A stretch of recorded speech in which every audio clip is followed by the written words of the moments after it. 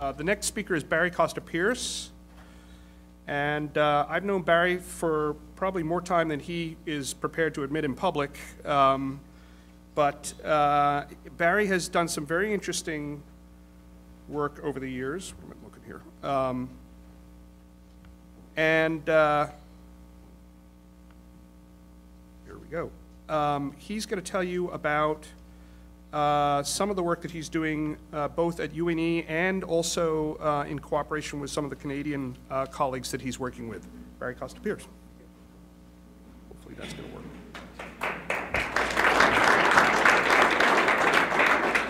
While it's loading, Director Hornsby and the Canadian American folks, uh, Dana and Jeff at Maine International Trade, and of course our close colleagues at University of Maine, particularly one of the best Sea Grant programs in the country led by Paul Anderson. So thank you very much for the opportunity to speak to you today.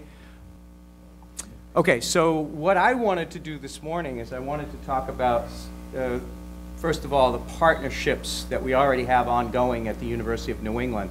A bit of a commercial break uh, in sales and marketing. Our little university, we're about 10,000 students. Uh, we have three campuses. Main campus is in Biddeford, Maine. Second campus is in Portland, Maine. And then we have a very strong local to global priorities for our, for our ocean students. So we have a campus at the crossroads of civilization in Tangier, Morocco, uh, and cooperative programs with the University of Seville, uh, with the University of Belize, and new partnerships with our colleagues in Iceland that are coming on board. So that, with that said, we have a very, very strong interest in local to global, uh, with Maine being sort of our living laboratory. But a lot of the issues that we deal with here in Maine have a global iteration. So we want the next generation of coastal leaders to be exposed and go deep into local issues, which oftentimes are very similar globally. Uh, and you probably could think about many of these issues. Uh, my other talking point, which I'll follow on with Michael, is you know, as we go forward with our world today, uh, only 1 to 4% of all human foods is derived from the ocean. And if we restore all capture fisheries, well, first of all, let's just step back for a second.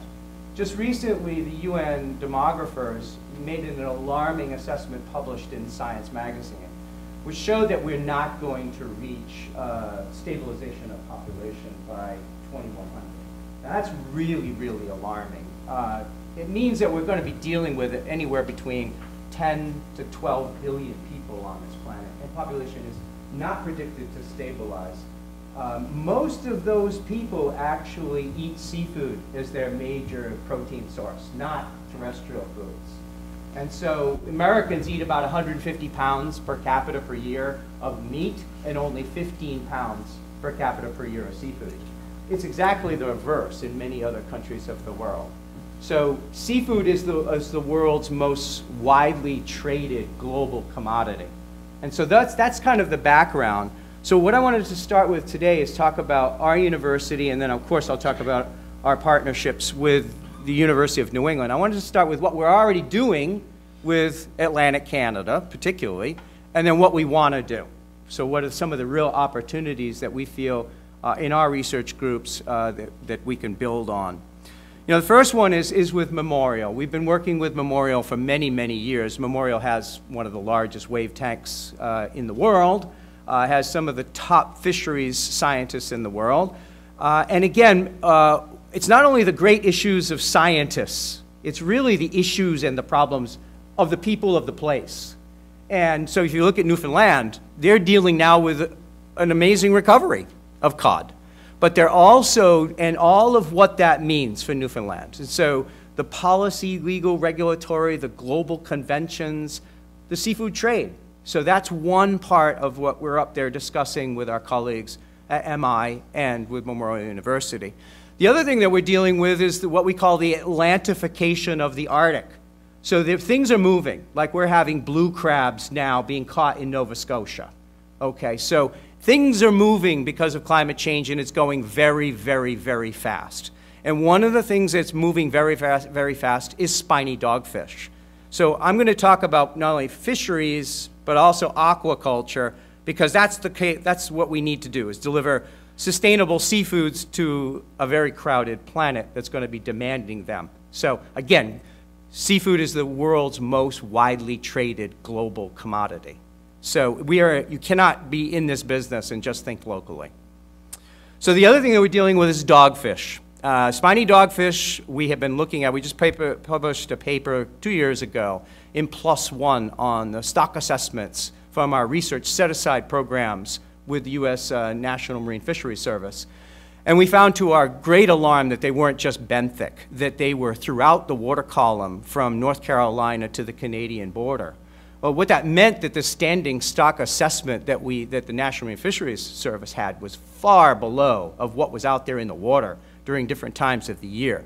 So we've, with a four to one male to female ratio that we found in our, some of our assessments, with water column gill nets going up from bottom to the surface, we estimated that sometimes of the year in the Gulf of Maine, there was over 800,000 metric tons of spiny dogfish in the Gulf of Maine.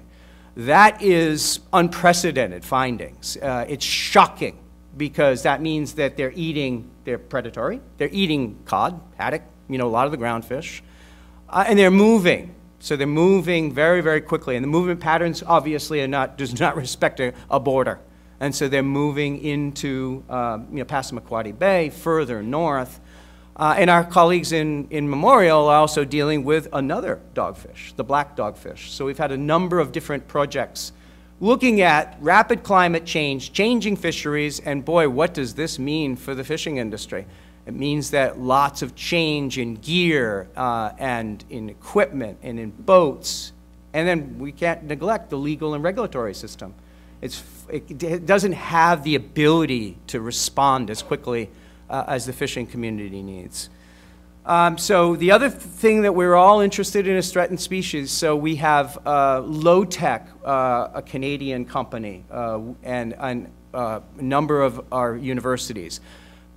Outstanding tracking, satellites, other types of taggings. Uh, they're, they're one of the best companies in the world. So we've been looking at, in order to see these migratory patterns, uh, we've been working with Lotek and Memorial on that. So uh, I've, in each one of these, I've got sort of the, the Canadian partner and our scientists behind it. And I work actually, uh, my lab works right now on the, the contaminants in dogfish because one of the things that we're not mentioning here, or our colleagues will mention this afternoon, of course, with the, the Eimskip and the new trade routes, but so not only are we getting additional products through this region, through the open door of the new trade routes from the Scandinavian countries, but the top fish and chips in UK markets, fish stores, was something called uh, rock salmon for many, many years. Uh, and that's spiny dogfish. And the legal and regulatory issues were all sort of raging about um, sort of contaminants in spiny dogfish.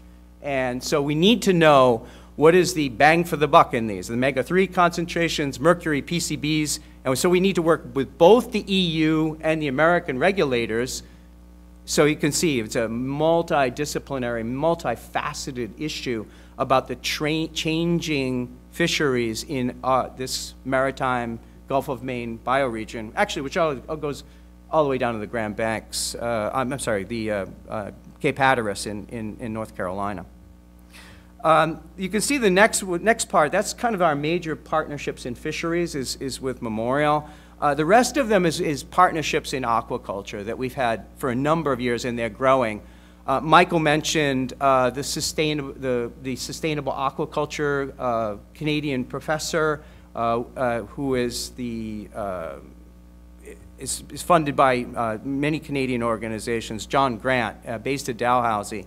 And our partnership with uh, University of New England, Carrie Byron and myself, we've done a, a quite an amount of work on carrying capacity uh, for shellfish aquaculture in enclosed bays.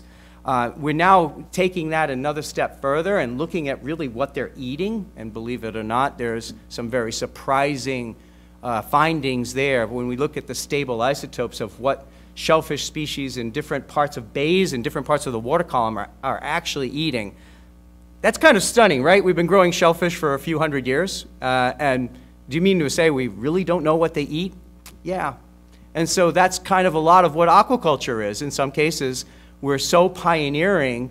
Um, it's the fastest growing area of food production in the world, as Sebastian Belle mentioned.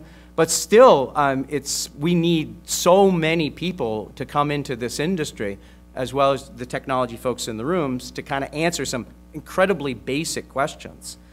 So that's the second major project, and we think that can go uh, in many different directions. I'll show you a recent paper that we just published in that area with our colleagues. The next part I'm going to talk about is sea vegetables. Um, I'll, I'll, mention a lot more about that and how deep that partnership goes with the University of Maine uh, and with the new $20 million SEANET project, which, as you hear from, hopefully, from my colleague Paul Anderson. Uh, and then last of all is eels. Uh, eels is one of the craziest species you can ever imagine. Um, Maine's, it's Maine's second largest fishery, most valuable fishery after lobsters. Everything that we're harvesting, we're shipping to China. Everything that we're eating, we're getting back from Asia.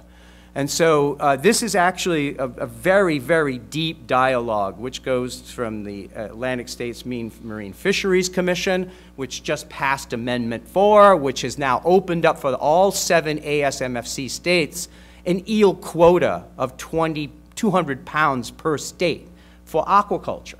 Now, the most advanced eel aquaculture in the world, believe it or not, is not in Japan. It's actually at Dalhousie University in Canada. So working with this partnership, a number of different peoples are trying to uh, pioneer sustainable eel aquaculture as an alternative livelihood for some of the people who have existing partnerships in the eel fishery. Okay. And I guess I just got to come down, huh? Okay. So this is a basic research area which many of you, you know, might not know. The world's largest food source is not phytoplankton in the ocean. It's actually particulates. It's detritus. And detritus is unconsolidated organic matter, according to us as ecologists. But what it does is it gets colonized by all kinds of really cool things like bacteria and fungi, et cetera. Uh, and it goes from low protein, from 10, 20 percent, and it goes up to 70% protein. Now, down at the, below the photic zone in the world's oceans, there's 70% protein detritus at immense concentrations. And we're finding that even in shallow waters, that most of the oysters, mussels, shellfish, clams, etc., they're not eating phytoplankton. They're not cows. All of our conventional wisdom in marine science says that they're aquatic cows. They graze the grass of the seas. All of our sighting up to this point has been where there's really good phytoplankton or algae that is the grass that the, these grazers eat. That's the place where you put shellfish, okay?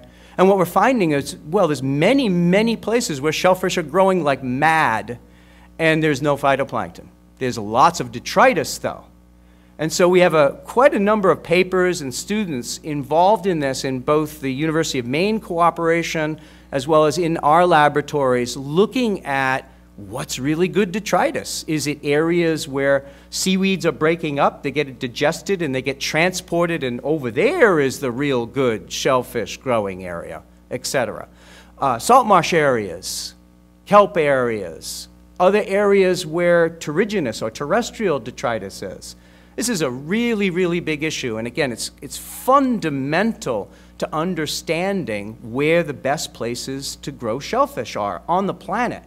Um, I'll never forget a project that was done at the University of New Hampshire with the Sea Grant Open Ocean Aquaculture Project, which poised mussels way down below the photic zone in deep, deep, deep waters using technologies that we were modifying lobster boats with, with fishing, with the fishing community.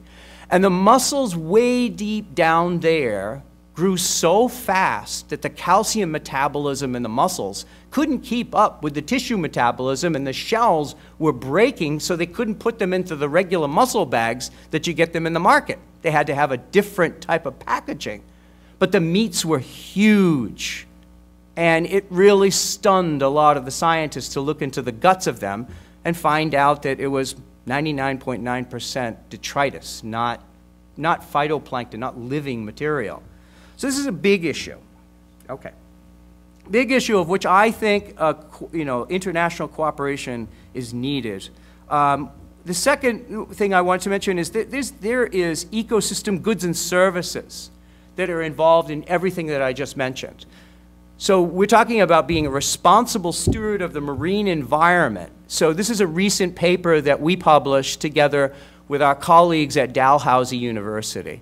And what we're looking at uh, with those, that cadre of folks is carbon trading, nitrogen trading, and a larger issues of environmental, a complete environmental assessment of shellfish aquaculture.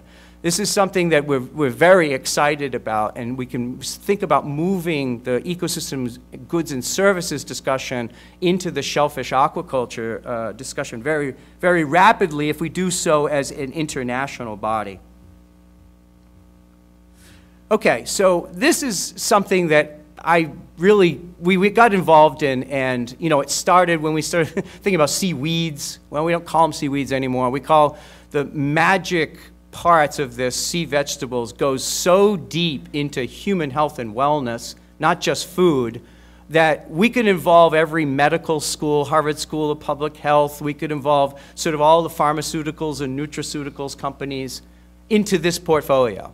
Uh, the, the findings in this portfolio are stunning in terms of, of what these products can contribute to human health and wellness and to the future of the planet from many, many different sides. And as you can see, it's multidisciplinary. We not only need to understand the biology of these, but we also need to know how to engineer the systems so that they can survive and thrive under winter conditions like Michael pointed out, because these kelps, for example, grow in the winter, which is really cool for the social contract, because most of Maine fishermen are lobstering in the summer, and they can have an alternative livelihood by kelping, quote unquote, in the winter. Uh, So kelp is the new kale, and so all the way along, you can see the, the list of, of different uh, science partnerships that we can develop. On the left-hand side, uh, through this partnership with the University of Maine, uh, the University of Maine and the EPSCoR project has allowed a number of small universities like mine to develop the institutional capacity to support the people of the place. So up on the left-hand side, that picture is that we've, our hatchery is working very actively, and we're now giving uh, hundreds of feet of line of, of baby plants of beautiful produced plants in our laboratory. To those, you can see the couple of new farmers there who've just started a new farm in southern Maine.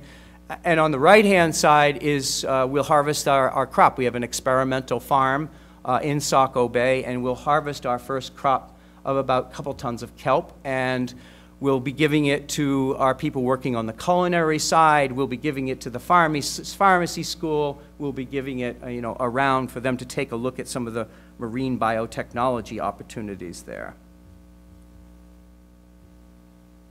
Yeah, and I just wanted to put this one up here because, you know, here's, here's a, a paper that, you know, right out of some of our colleagues in Canada at the Craigie Research Center, you know, a role for dietary macroalgae associated with cardiovascular disease. I mean, this, the Harvard School of Public Health, along with our Canadian colleagues and many other medical schools, these people are now calling themselves sort of sea, seafood doctors. They're trying to get the message to, to, to people who are avoiding seafood because either they're scared they can't cook it or they think that some type of uh, young children or women of, ch- of childbearing age or women who are pregnant there's, there, there's a, a, a movement that has been gone on for about 20 years to, to scare them away from seafood. And so there's a, now a growing movement worldwide, particularly in our region, to, to get out the real messages about seafood uh, and its, its risks and its benefits. Okay, I mentioned spiny dogfish. This is, I've already mentioned this, the 800,000 metric tons. Uh, I just wanted to put down here the, the standing stock assessment of, of, of Atlantic cod in the Gulf of Maine just recently was uh, estimated at about 10,000 tons. So that's 80 times uh, the amount of cod uh, standing crop biomass. Now, this is at any one time of the year. There could be 800,000 metric tons of, of spiny dogfish uh, in the Gulf of Maine. So I'm going to I'm going to leave it on this one. Um, I think that when you look at the opportunities for our region, yes, we do not have as a, a population as dense as many areas of the world. But when you start looking at the world's most widely traded commodity, our resource base, we can steward this resource base so that, and, and look at real reality of that resource base recover, restore marine fisheries, at the same time steward marine ecosystems, and develop sustainable aquaculture. Now, just, I'll tell you how important that latter part is. That, it, there was a recent study, uh, or sorry, yeah, study and a keynote speech by the, the dean, Dean Stephen Gaines of the, of the Bren School at the University of California, Santa Barbara. And he gave a keynote at, a conference in Malta just recently with an assessment of all of the world's fisheries, finding out that if we were to use best practices for all of the world's fisheries today, we were to move everything over to catch shares, we were to restore all of the marine ecosystem habitats so they could reach their full fisheries production.